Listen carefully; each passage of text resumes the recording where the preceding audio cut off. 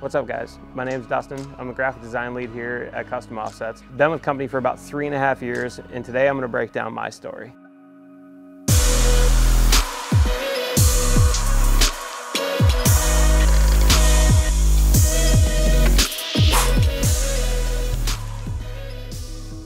I consider myself an enthusiast. I've been an enthusiast since I before I walked in the door of you know of this place.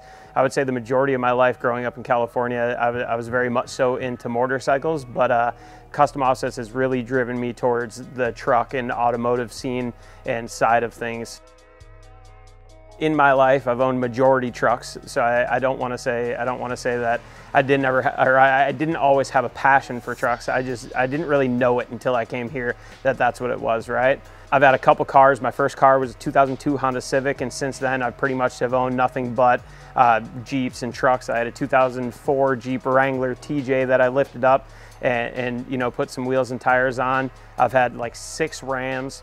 Um, my first one, I, I, did a From the Gallery episode that I told you guys all about, was a pretty wild hodgepodge mess of a vehicle with extended fender flares and unpainted freaking bedsides when we pulled them off and just a, it was a mess. But it was awesome to me right? I, I, thought it was super cool. From there, I had a, a, 2014 Ram. I've had a 2010 Ram that had like crank windows and it was like a six speed, whatever. And when I started here, I, I did have my 14 Ram and I, I, went ahead and I put wheels and tires on it right away. It was right when we launched Arkon and I thought it was the coolest thing to be able to take a wheel that, you know, we started the company for and throw them onto a truck and be one of the first trucks in the world running these. And that was like the gist of what I did. I basically stuffed the wheel wells with as big of wheels and tires that I physically could put on the damn thing.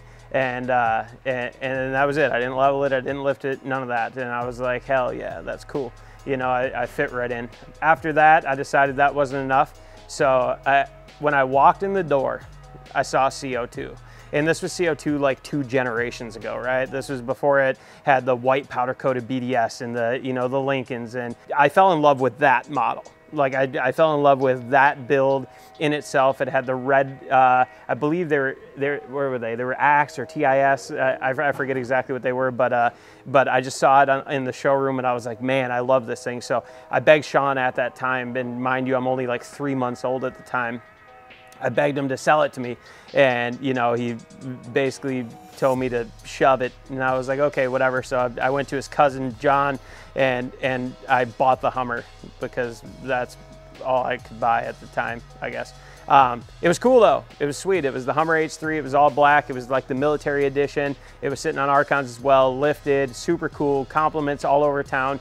When it came to trucks, I, I'm not super mechanically inclined by any stretch of the word.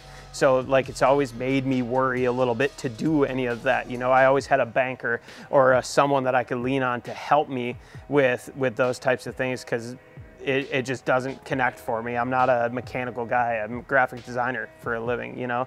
I, I, use a computer and, and not necessarily my hands when it comes to this.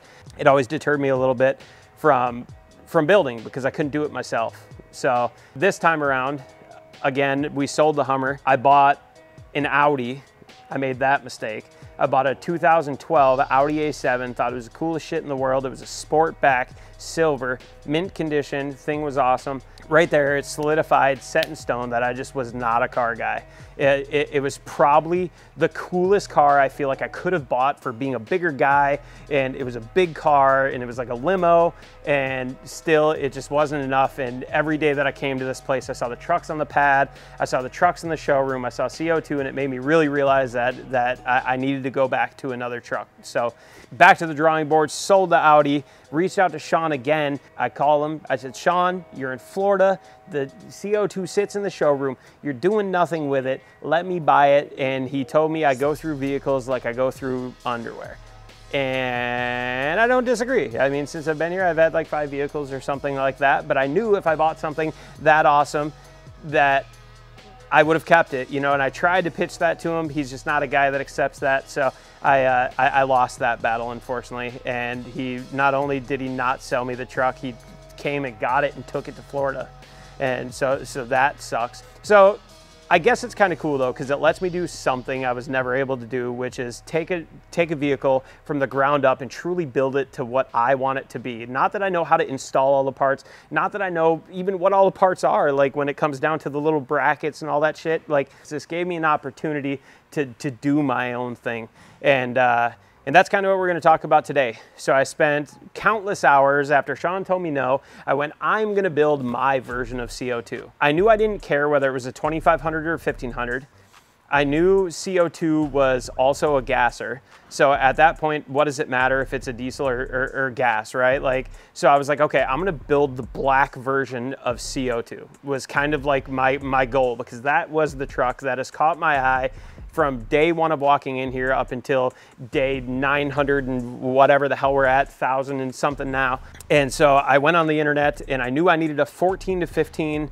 I knew I was looking for a 1500, something in that year range. We live in Wisconsin uh, and, and up here rust is such a big factor that one of the biggest things that I looked for was I wanted something that was low mileage. I wanted something that was clean. I wanted I, I, wanted that exact year range and a 1500 in black. I searched and I searched and I searched and I searched and the craziest thing. So it, you know, my phone kept dinging to me and telling me that, you know, there was a, there was a new thing listed for Silverado, new thing listed for Silverado. Finally, we, uh, I, I clicked on one. The guy happened to live on my street, like the street that I live on. So I went over there and uh, and went and looked at it and it was super clean. Like inside and out the guy took care of the vehicle. It had absolutely no rust you know a little bit a little bit underneath nothing major nothing to be concerned about that can't be wire wheeled off and you know undercoated. But there was no body rust no rust in the wheel wells which is again like if you guys aren't from here it is so once you see rust that shit spreads like wildfire. And and I wanted to make sure we didn't have any of that. It was exactly what I wanted. It was a black 2014 Chevy Silverado. It had just under 80,000 miles on it. It was very well taken care of. It was su super clean, no rust, it, it, exactly what I wanted to a T. So uh, ended up, you know, talking with the bank, getting a hold of him. He held it for me and came and delivered it for me at work. And so that was super cool. I, was getting a ride back and forth after I sold the Audi in between buying the truck. And so he came, delivered it, handed him some cash, and, and then it was mine. But anyways, I figured we'll get into the build. Once we got the truck, solidified it, brought it to the garage, or, or, or, brought it to work, I started to really dial in what I wanted to do with this thing. And, and in order to make it as close to, you know, obviously it's not gonna be an exact match to CO2, but I, I wanted that vibe, you know, I wanted the same style of kit, the same style of wheels, the, you know, like I wanted it to be my, like when I get out and I shut that door and I'm walking into a gas station that I'm looking back going, hell yeah, that's mine, you know? I started reaching out to some of, you know, some of, some of the best companies in the game, and that started with the, the suspension. So the suspension, we went and we reached out to uh, Belltech, and, and Belltech ended up sending us the first in the world, I believe, or the first in the country. Uh, I, I, apologize if I'm wrong about this, but I'm pretty sure that this is accurate. For this year make and model, it's their uh, coilover kit, which looks super good. It's basically, you know, red springs on gold coilovers. It's beautiful. All the parts were like carbon gray besides the actual suspension components. So the cross member, the front and rear, the sway bar, all of that is like a real dark, like graphite, like grayish metal looking. Looks super awesome, super excited to throw that in. We'll be working with Radar Tires. They sent us a brand new set of Renegade RTs 35, 13 and a half 24s, and those are gonna be wrapped around some Arkon Lincolns in 24 by 14, negative 81. Uh, that'll be the black version, the black and milled version of the Arkon Lincoln. We went with some performance on the truck, so we ended up doing the Superchips Dashpaq. Uh, the Superchips Dashpaq Plus from Holley Performance and, uh, and Super Chip, obviously. The Flowmaster Outlaw full exhaust system the Flowmaster intake, a B&M rear differential cover. As far as the performance goes, that's pretty much it. I also purchased on the side a EAS system. It's gonna allow me to control my lights right through my tuner, kind of cool. We're working with Black Label Lighting uh, on the rock light kits that are gonna be going inside of the truck. Rough Country took care of us, and, and we'll be working with them on some of the their their brand new steps. So it's the uh, Rough Country Retract Power Steps. They have uh, you know the lights on them go up and down as I open and close the doors. That'll be pretty sweet. Body armor, uh, working with them on the bumpers. They did front and rear bumpers, the Eco Stealth bumpers. Morimoto for the lighting. So we're gonna go Morimoto headlights and tail lights front and rear. I'll be working with uh, FX window tinting to ceramic coat the whole truck when it's all done. So we're gonna polish it up, get it all nice, and then we'll end up ceramic coating the entire truck to keep that polish, you know, make keep it keep it clean. I also picked up a Rough Country three-piece hard tonneau cover, tri-fold tonneau cover for it.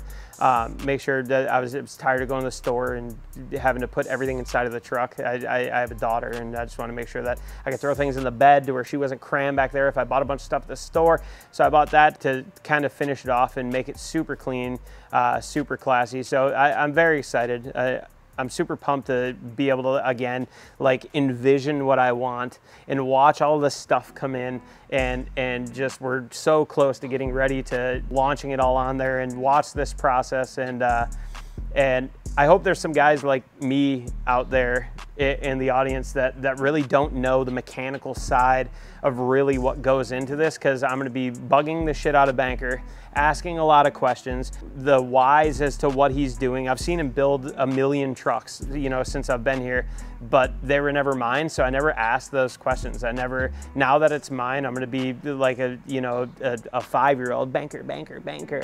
You know, what are you doing? And, and I hope that helps some of you really understand what goes into a lot of this stuff and understand what those little pieces and brackets and bolts and whatever are, you know, throughout this series. Listen, I have no idea what any of this is. I look forward to seeing the final product. I have a vision in my head of what it's gonna look like. I tried to render it up in Photoshop.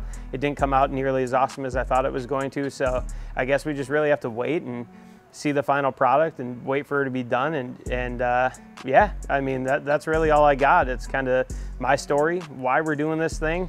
Uh, you know, Papa Sean said no, so I said, I'm gonna build my own. And that's where we're at, we're gonna build our own.